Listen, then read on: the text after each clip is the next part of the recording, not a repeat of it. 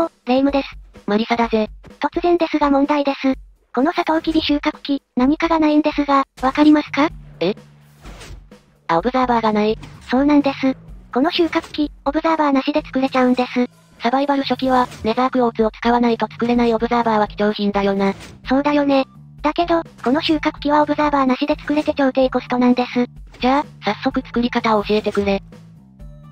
使用するアイテムはこんな感じです。このガラスですが、見た目を良くするために使っているだけなので、皆さんは普通のブロックを使ってもらっても構いません。滑らかな石の部分は、不透過ブロックなら何でも OK です。で、土が5つ混じっているんですけど、これは使いません。では製作工程レッツゴー。まずは、地面を8マス、動画の通りに掘ってください。この8マスは、水路を作るためのものだよな。そうだよ。角の手前を掘ってください。これは何の穴なんだ？ここにホッパーとチェストを設置するよ。そういうことか。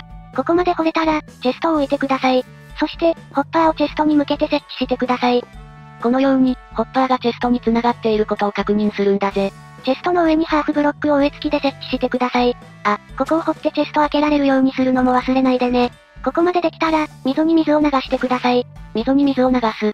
水がホッパーの上に被っているか確認してね。そしたら、水路の奥に、1マス開けてブロックを設置してください。全部で8マスだな。で、このブロックの上にピストンを手前向きに設置してください。次に、ピストンの横に不透過ブロックを設置してください。ここを不透過ブロック以外にするとおかしくなるから気をつけるんだぜ。で、側面にレッドストーンの松明をつけてください。その上にまた不透過ブロックを設置してください。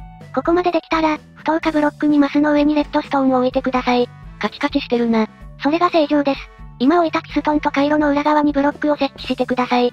回路の分も合わさるから9マスだな。で、その上にレッドストーンをドーンしちゃってください。お前大丈夫か？大丈夫だ。問題ない。あ、はい。ここまでできたらもうほぼ完成です。サトウキビ産卵防止の壁を作っていきます。動画では最低限しか設置しないので、気になる方は自分で壁を増設してください。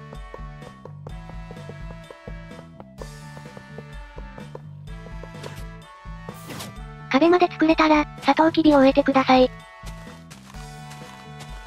これで完成です。超低コストで、しかもすぐ作れて最高だな。では実際に動かしてみましょう。オブザーバーなしでも、しっかり動作してるね。これは革命的。ん、なになにサトウキビが引っかかってるって？そんくらい自分で壁増設しろやということで、超簡単超低コストなサトウキビ収穫装置の作り方を紹介しました。皆さんも作ってみてね。最後までご視聴ありがとうございました。バイバイ。